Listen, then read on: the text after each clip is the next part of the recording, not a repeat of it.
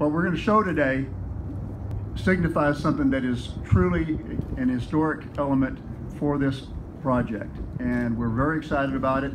We'll talk more about it in a few moments. Uh, for now, I'd like to introduce Councilman Kingston, who has been a very instrumental supporter of the Statler project. Mr. Kingston?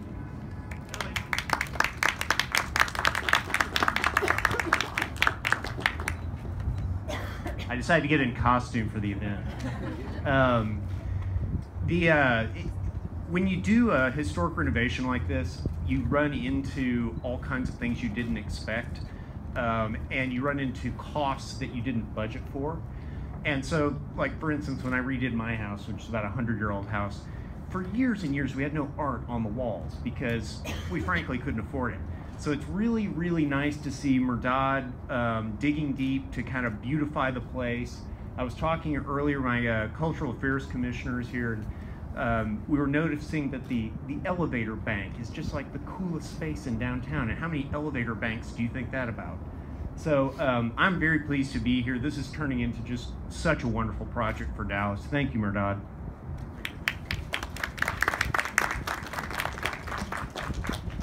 Hi there, my name is Rachel Roberts. I'm the Director of Branding and Marketing for the project and want to welcome all of you here for this very happy day because it's been a year and a half that we've been working on this particular project with the sculpture here on the roof.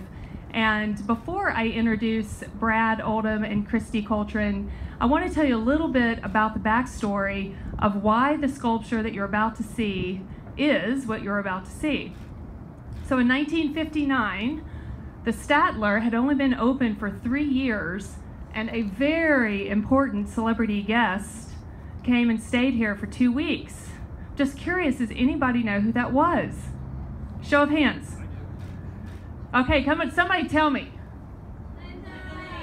yeah, see, she's already gaining popularity. Yes, Llinda Llee Llama. She was a famous Broadway star in Manhattan. She lived in a penthouse in Manhattan with her owner and had also been featured in Hollywood films, but had been uh, employed by Neiman Marcus to come down and participate in the South American Fortnight that took place that year, and many of the events took place here at the Statler Hotel. So she flew down, was greeted by a brass band at Love Field, and was driven in a Cadillac convertible from Love Field here at the Statler. She checked in at the front desk and then stayed in her hotel suite for two weeks where she made frequent appearances at Neiman Marcus for many of their events and also made uh, charitable appearances, including visiting sick children at Parkland Hospital. So she was a cultural and social ambassador uh, for the city of Dallas, the Statler Hotel, and Neiman Marcus during the day. So we are very excited to resurrect her in her own way. And Brad Oldham and Christy Coltrane are the two that made her come back to life in the way that you will see here shortly. So before we actually get our first view of Llinda Llee Llama uh, personified, I want to tell you a little bit about Brad and Christy.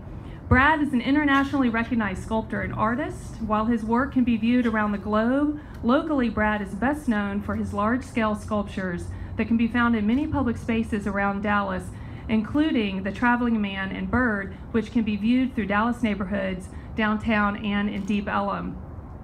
Brad has earned worldwide recognition with his artwork, and in 2011, the Texas Society of Architects recognized Brad with the prestigious Artisan Award and heralded him as the Artist Craftsman of the Year by the American Institute for Architects.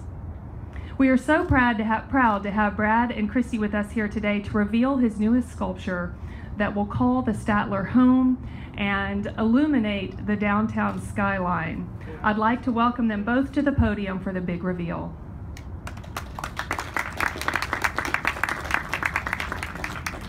Hi everyone, thanks for being here. Um, a lot of times people approach us to create uh, stories and then the sculpture that tells the story. This one had a really great story to begin with through Miss Llinda Llee Llama, and that's uh, two S's, two L's, two L's, and two L's. Um, and uh, so we were just really lucky to take a really great concept and then try to create a, an iconic sculpture that wasn't just a literal rendition of a llama. So I think you'll find that this is really interesting and really fun. It's going to be creative for photography and just the experience.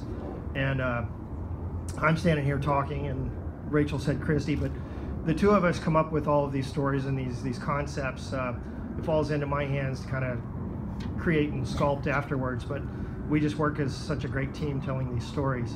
Um, one extension of this one is that uh, and Mike and Rachel allowed us to create a small version that's in each of the rooms in the hotel, and that's that's a pretty special thing to to have that. You can also, I think, purchase them uh, to take home with you if you like. I may be just making that up, but anyway, you can now.